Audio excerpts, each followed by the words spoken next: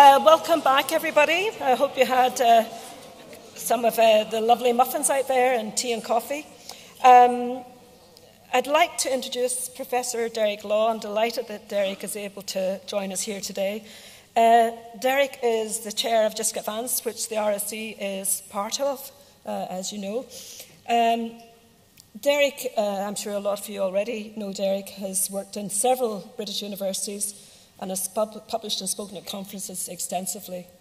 Um, he's a regular project evaluator for the EU, and most of his work has been to do with the development of network resources in higher education and with the creation of national information policy. Recently, he has worked on the use of wireless technology in developing new methods of teaching and learning, and this has been combined with an active professional life in organisations related to librarianship and computing. So I'd like to welcome Derek uh, to the stage. Thank you.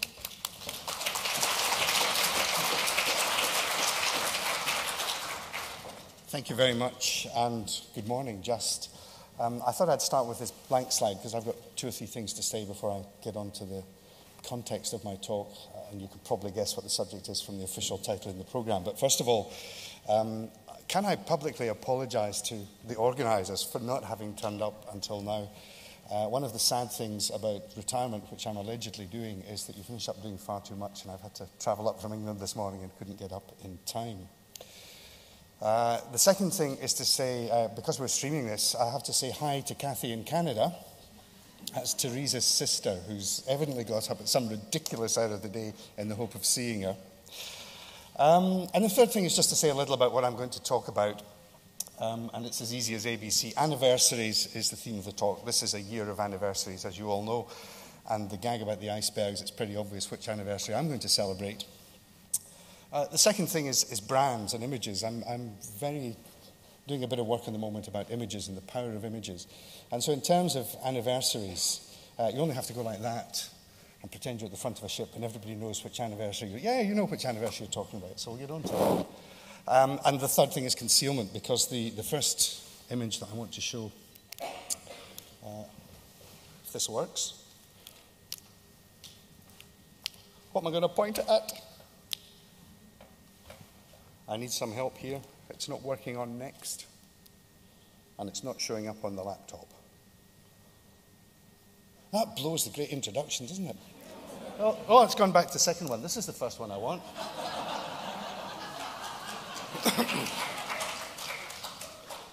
Thank you. You've no idea how much time I spent on Photoshop doing that.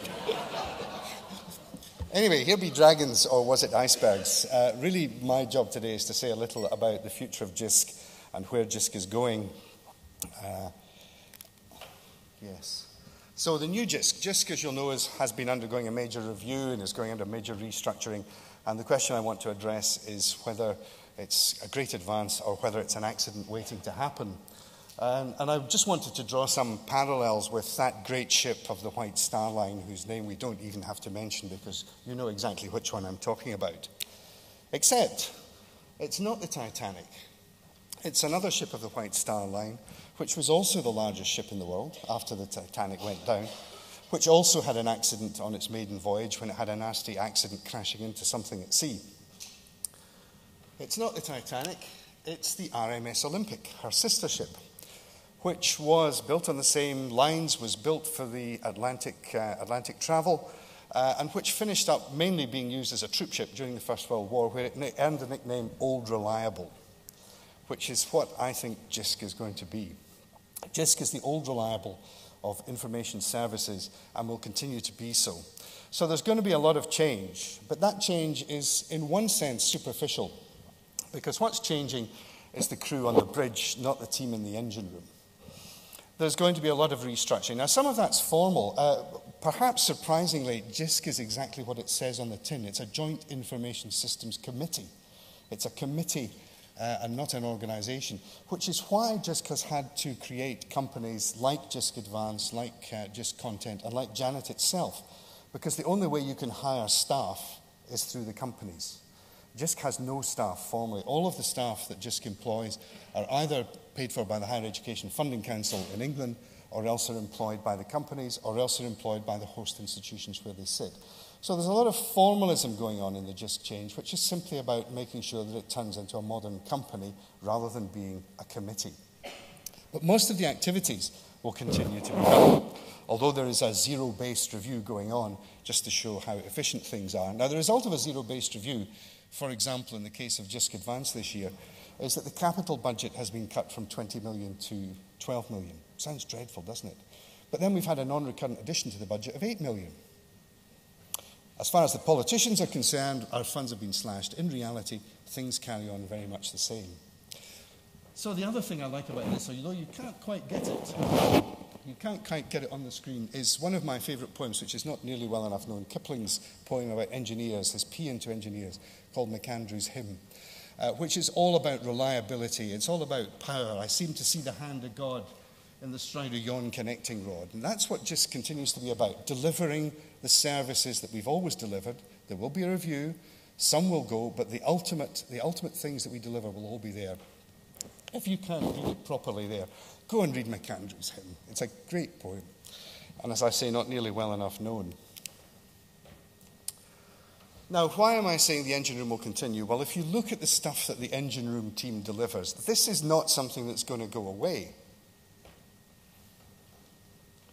Savings. The whole point about JISC is that it's shared services, whether that's a shared network, whether it's TechDis, whether it's JISC Legal, whatever we do, we share. Now, you know, how much do we save? But we have commissioned studies from economists, so they must be true, which demonstrate that the shared services, which JISC Advance alone can demonstrate, come at 122 million a year. In other words, if JISC Advance didn't exist, your individual colleges and universities would have to pay that much extra. So there are very real, very tangible savings from working together. It's kind of blindingly obvious. We only need to put numbers to it to persuade politicians, but it's rather obvious, I think, that doing things together saves money and is more economic. Then look at how much activity goes on 12,000 help desk calls a year and 12,000 people attending our training events. I just wish these two numbers weren't so similar. You kind of feel they must be related in some way. People phoning up to say, How do I get to the event? But I'm sure it's not that at all. So 12,000 calls a year. That's, that's a lot of help and advice and support. Of course, if we were doing it properly, there will be 12,000 this year and none next year, but we'll gloss over that a little bit. 12,000 of those, that's a lot. 600 events. This is one of the 600 events that are involved every year through the RSCs, uh, through Janet, through uh, conferences, training sessions, regionally, locally, all over the country. The impact calculator, I've just picked two examples of things we do. The impact calculator has been a huge success. And again, it demonstrates that although the role of JISC and JISC Advance is specifically for higher education and further education and the skills sector generally in the United Kingdom, it's much appreciated abroad. The impact calculator simply tells you what will be the impact of any, any development that you're planning. You can work out what the cost savings will be. The examples that we use relate to the better management of information within organizations, and that's one of the areas where we can make and demonstrate real savings and real impact. But having a reach out to 64 different countries, including Kathy in Canada, is, uh, is pretty impressive, I think. And finally, guidance on managing research information. And I do want to draw attention to that one in particular, one of my hobby horses. Uh, the impact of guidance on managing research information, which to me is critical to the future of institutions. At the moment, it tends to be left to academics, and they make a pig's ear of it. And the reason I say they make a pig's ear of it is because of this climate gate. Now, you may think that's faded away very slightly, but it's an, it's an object lesson in why you should never trust academics to do anything beyond what they're paid to do, i.e., research and teaching. Uh, in short, the, the story of this, most of you will remember, was at the University of East Anglia. Uh, the email, climate change, of course, being a very big and very sensitive topic, and there the doubters and the believers. Uh, at East Anglia, they had a big contract from the United Nation to, Nations to manage the data and provide a neutral and objective scientific view. Their emails were hacked poor IT security. Their emails were hacked. Um, then some of the data was hacked. There were freedom of information requests which were illegally turned down. And in the end, after all of this, there had to be a public committee of inquiry, which uh, Muir Russell led. And uh, the professor who was in charge of all of this had to resign. His reputation's in ruins. He has no career left. The department will never get a research grant again because nobody now trusts them because they were accused of manipulating data and were unable to deny it effectively to show that they hadn't manipulated the data. And the reputation of the University of East Anglia is now shot. So there's all sorts of knock on effects on other departments who are suffering because of one bad apple. When they had the committee of inquiry, it turned out that what had gone wrong was basically a failure to manage information. There was no audit trail for any of information. The professor in charge of this data didn't know where he got it from. He didn't know who had amended it or when. He didn't know how it had been changed. He appeared in his emails, but wasn't actually, but he appeared in his emails because of loose wording to be saying uh, that he had massaged the data. Uh, in fact, he was editing it for publication. Uh, he had massaged the data, and in general, they just hadn't had a clue to manage how to manage information. There were no audit trails, there were no clear lines of responsibility. In other words, the basic sort of management of information that anybody in this room would be capable of doing was assumed, but not there in practice. Now, we don't let academics look after health and safety. They follow the rules of the institution. We don't let them do minor building projects. They follow the rules of the institution. I can see no good given reason why they should be attempting to manage information when it is quite clearly beyond their competence. They have no training, no skills. So at the risk of being a little obsessive, it does seem to me that that whole area of information management is absolutely critical to the reputation of institutions in ways they don't even begin to understand until it goes wrong, as it went wrong at East Anglia. And one message I want to take back is the, is the way in which JISC Advance is involved in managing data. Now, it's not just research data. Research data is perhaps the most obvious and the most important, but it applies to all sorts of human resources data. The University of Belfast is having problems with that. It applies to studies which students do. University of Stirling has been having some trouble with that. All sorts of data which the institution manages really needs to be properly managed with proper rules and procedures. Quite good, that, isn't it? I'll try and stop doing it. and we have the techniques and we have the technology in JISC Advance to be able to support and help you to do that. so the new JISC, excuse me, the new JISC will be divided into three broad areas. Uh, first of all, there will be the infrastructure services. That's broadly what was Janet in the past, with various additional bits on top, like cloud computing and cloud services and so on. Then there will be the data and content services, which will be the content management uh, uh, division, plus various things like EDINA and, and the other current content providers built into one organization. And then finally, there will be services and support, which will include JISC Advance. Now, we, we rather coolly like to think this is a reverse takeover by JISC Advance. We're taking over all the other bits that should have been there in the first place but weren't. But it will be a fairly new structure, but it will be built by adding things and accreting things which provide services. This is the one which is, is perhaps most fluid at the moment. It's the area which will possibly change the most, but the changes are going to be on the bridge, not in the engine room. Very largely, anyway. There will be a significant focus on customer relation management, which JISC Advance already does, but the rest of JISC, we're having to teach them what CRM actually is. Um, and I wanted just to give uh, a reassurance, in a sense, that the fact that this restructuring going, is going on doesn't mean that there's an end to innovation. It doesn't mean that we have to stop everything and freeze everything until the decisions are made about the future. And I just wanted to highlight five of the things uh, I think it's five, that the JISC, JISC Advance board are working on at the moment and which we're rolling out or developing or expanding. Not so much to try and sell them to you, they sell themselves, we hope, but just to demonstrate that that engagement, that that activity, that willingness and ambition to meet the wants and needs of the community still lies there. It's going to take about two years to reorganize JISC into this new structure. You'd be amazed, well, you probably wouldn't be amazed at how much work is involved in changing conditions of service and changing contracts, changing pension rights, moving people from one city to another, all that sort of thing. Uh, but in the meantime, we will keep driving ahead. We're not going to stop and freeze things. So, the ones I want to talk about are the new Shibboleth website, which is all to do with access management, uh, the relaunch of the exchange service. I didn't even really know that this existed until we started talking about it. Uh, the release of the brand new Nexus one, which manages data, uh, shared legal, and you can learn a lot more about that outside uh, later on, and a new, a new JISC mail, uh, modernizing the, the JISC mail that we know and love, which is, still appears to be set in the 1970s, if not the 1960s. So, first of all, Shibboleth. Shibboleth has been slowly and steadily expanding over a number of years. It's about access management. The big fun has been getting publishers engaged, but it's now well beyond critical mass. Uh, we're doing an awful lot of work with Shibboleth to, to renew it, revivify it, to get more publishers in, uh, to get more content providers in, and of course to get more institutions in. And it's always a big hit with users. That's the main thing because it makes their life easier, is not having to remember dozens of passwords and dozens of different locations. Then Exchange, which literally does what it says. It allows you to change your second-hand kit or the kit that you've bought in error uh, with other institutions uh, and to actually reuse effectively. It's good financially, it's good morally, it's good ecologically, it's a win win kind of thing to do.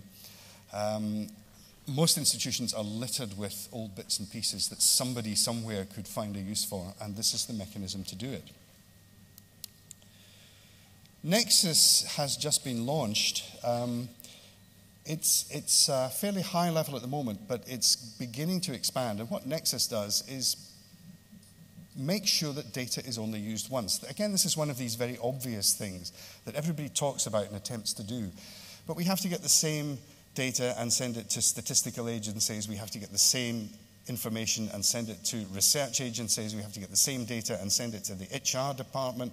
We have to get the same data and send it in a different way to the dean. And data is processed loads and loads of times in most institutions needlessly because we don't manage the process effectively.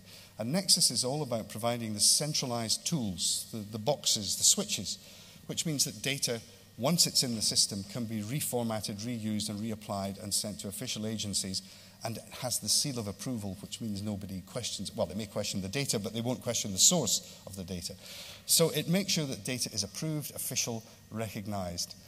Um, there's a lot of potential for that because you, organizations, um, all of our organizations, subsist on statistics and data. Government insists on statistics and data. And an awful lot of uh, manpower, person power is used in just manipulating the same data into different formats to send it to different agencies. And this will make life a lot easier. If you don't know about Nexus, explore it. Your management will love you for making life easier.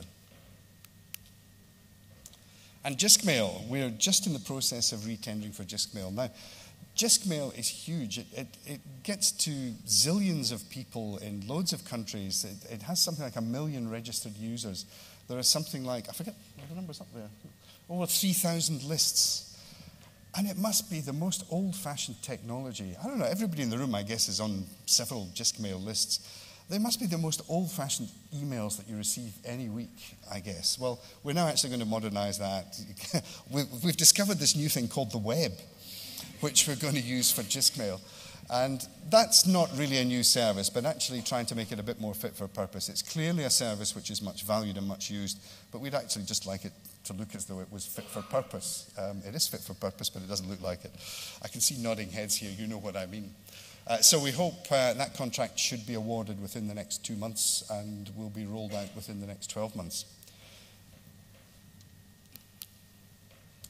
And JISC shared legal. I, I feel slightly um, nervous mentioning this when there are just legal people about because they know so much more about it than I do. Um, in a formal sense, uh, JISC, of course, deals with technology. And it was stretching things a little bit to even set up JISC legal in the first place. Uh, the argument was that it was the, the, the legal bits related to IT, so we could do it. But now we've got the okay to move into all sorts of other legal stuff uh, human resources, contracts, all that kind of stuff. Again, on the basis that a shared service, particularly for smaller institutions, is much cheaper. And uh, anybody here from smaller institutions, it's quite instructive if you can go back and try to find out how much your institution spends on legal advice in a year. The numbers are phenomenal. Quite understandable. People want to make sure they've got a sound basis for making decisions. But if we can cut these bills by even 15%, we will be saving institutions huge amounts of money. So JISC Legal has taken on the task of setting up this new service. It's a subscription-based service. That's the way the world is moving. But I think it's going to be very easy to demonstrate that that subscription will show a huge return very quickly in year one. Am I saying the right things, Jason? I don't know where he is up there. Yeah, saying the right things? If you want to know what's really happening with all of this, talk to Jason or talk to the people at the desk. Uh, but we're really very pleased that we're moving ahead on this field. It's allowing us to move into new areas of activity and ones which are clearly of value and interest to the sector. So it's, uh, there's a big, uh, a big sporting event coming up, uh, the Commonwealth Games. Uh, so I thought I should finish talking about what's going to be happening over the next year or two, as opposed to any rubbish that's happening anywhere else. Um, and just talk about the things that we have been working on within JISC, within the JISC board, these are fairly standard kind of management speak things, but for, I, I've put this up because for me they captured quite a lot of what we're trying to do over the next 12 to 18 months in the run up to the Commonwealth Games, which will be held in Glasgow in 2014. Um, we need to develop a rationale. That's kind of self evident. But JISC has never really had a rationale in the past. It's been like Topsy, it's just growed. Um, it's done all sorts of wonderful things. It has responded to the needs of the sector, but it's, it's listened to the sector, but it's never actually had a coherent development policy, a coherent development structure. So there will now, we're going to work much harder on developing the rationale for why we do things rather than allowing, say, third party commercial people to do them. Uh, we want to make sure that we're working with key stake, stakeholders. Again, that may seem obvious, but it's something that's happened rather randomly. Uh, there's a huge dominance of the, the network nerds in the Janet board at the moment. So the research councils, for example, have a hugely disproportionate, in my view, have a hugely disproportionate influence on the future and development of JISC because they need very powerful and very expensive research computing. But if you look at the numbers of people in the sector, sectors that we're trying to reach to, we haven't really got that balance right. So we need to work much more with making sure that the stakeholders are fully engaged, and we're doing that Customer relationship management, that's partly what today is about, but much more specifically, we, we're talking about having identified team members working with institutions to identify their needs. So rather us coming in, rather than us coming and selling you products, we'll be coming to talk about what you need and then trying to develop the tools to help with that. Uh, the same communicating extensively in person. We're going to do much more of that working with individual institutions knowing the people that we work with. Again, it all seems stunningly obvious, but it's been so obvious that nobody's actually addressed it and dealt with it. Um, and I love this one embracing the digital chaos. That's the most fun. I've just come back from two weeks of reviewing proposals, project proposals in Brussels, and the stuff that people are doing with augmented reality and um, personalized context based systems, which I have no idea what they mean, but they sound fantastic. And the demonstrations are really unbelievable. There is so much digital chaos going on, and bringing a little bit of order to that is one of the challenges that you have. And one of the challenges we have is helping you to do that. And it's just so much fun out there, so much going on.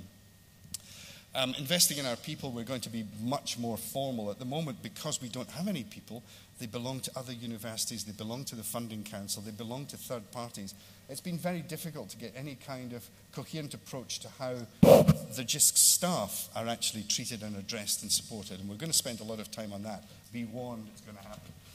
And uh, lastly, committing to project management. Uh, unlike, unlike the past where Topsy just growed, we'll actually do things properly. And as a result, like Glasgow, we'll deliver a wonderful games by 2014. But in the meantime, things will keep powering ahead. Thank you very much.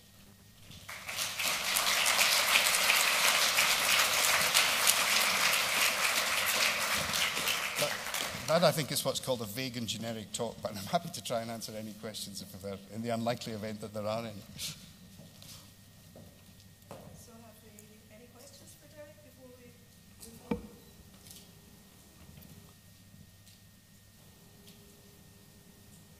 After the first slide, it was downhill all the way, wasn't it?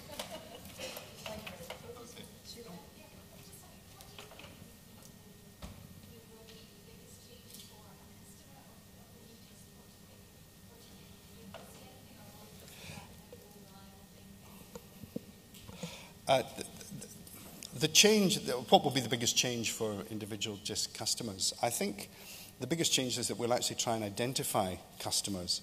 Um, we have this kind of mantra in JISC at the moment that everybody uses some JISC services, but nobody uses all JISC services. So, first of all, we'll try and get more penetration within the institutions that we already have relationships with to reach new people within those institutions.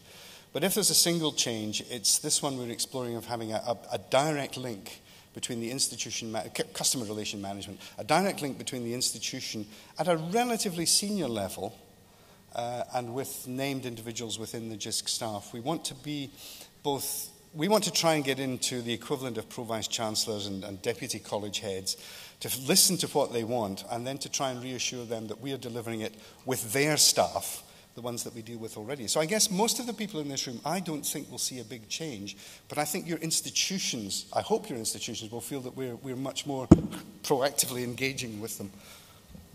I said I was very comfortable with the lectern mics rather than being wired up. I should have changed my mind, shouldn't I?